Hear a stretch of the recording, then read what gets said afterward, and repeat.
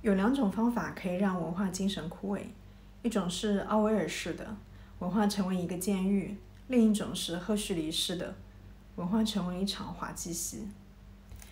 今天要聊的这本是尼尔·波兹曼的《娱乐至死》，他在文化出版的行业一直是一个经典的作品。当时。波兹曼他出这本书，其实是为了抨击在电视这个媒介出来的时候，对于一个传统行业像印刷业的冲击，导致了民众或者说人们他们可能不太再愿意去做阅读和深度的思考。好像其实可能是因为在今天它依然具有很多的意义，所以也是一直经久不衰。这里面有两个我很喜欢的观点，一个是电视新闻它消解了严肃性，比如说，其实我们可能也是上一辈的事情了，就是当时每天是会有一个很准时准点的一个新闻的播报的，当然现在也有，但是可能之前看的人比较多。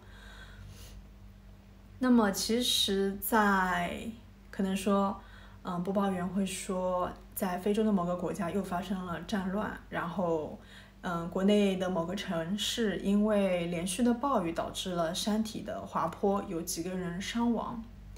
但是无论他说了多少的新闻，在新闻节目快结束的时候，这个播报员都会面带微笑的说：“好的，我们今天的新闻就到这里，我们明天同一时间再见。”波兹曼就在问说。为什么要明天再见呢？这个事情在于说，如果你刚刚播报的确实是一个非常悲惨的新闻，有人遇难，有人死亡，有一个国家遭受了非常大的一个灾难，难道我们不应该拿出时间来默哀、来思考、来讨论，包括说保持某一种情绪的弥漫吗？第二点其实是信息的过载。像科勒律治关于到处是水却没有一滴水可以喝的著名诗句，也许很能代表这个失去语境的信息环境。在信息的海洋里，却找不到一点儿有用的信息。缅因州的人和德克萨斯州的人可以交谈，但交谈的内容却是他们不了解或根本不关心的。电报可能已经使这个国家成为一个社区，但这个社区却是奇怪的，因为这里住着一群。除了了解一些最表面的情况外，彼此之间几乎一无所知的陌生人。举个例子，比如说像微博是我们国内比较大的一个信息收集的平台，当然上面的信息是有真有假的。那么你在上面的榜单上面，你可以看到每天都会有热搜，不停的变来变去，不同的行业的信息都是会在这个热搜上面。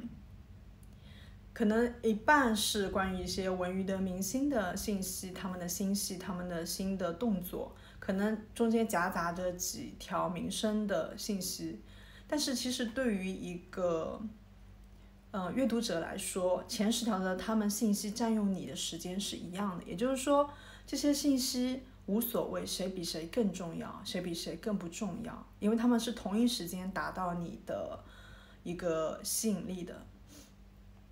所以那些新闻它是被消解的，因为你并不觉得这个新闻有多么严重，因为下一秒就会有不同的东西出现。同时，因为信息的过载，我们去追寻一件事情的真相，它所花费的时间成本和你的一个所有的精力是。需要非常大的努力的，而我们其实都已经习惯了那些非常直给的东西，也会下意识，也会无意识的去相信那些第一眼出现在你面前的文字也好，那些耸人惊闻的标题也好，因为去相信它是一个非常直观的一条链路下来的东西，但是去思考、去质疑、去辩驳。那是一个更深层次的东西，而我们现在都太过忙碌了，我们没有办法去做这样的一个判断，以至于说纠结到最后，你就会觉得说，都是新闻，明天就会过去的，明天就会有新的新闻，